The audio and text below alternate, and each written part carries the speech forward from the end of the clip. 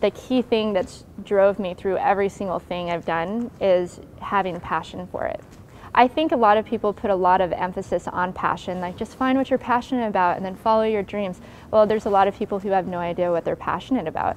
And I think it stems from what makes you feel good and what you enjoy doing. So it may be something that you're not going to make any money from at all, but something you just enjoy doing. And I think that your passion is attached to your purpose. So by doing whatever it is that fulfills you, even if you can't do it as a career, is incredibly fulfilling and important for you to, I think, grow as a, as a human.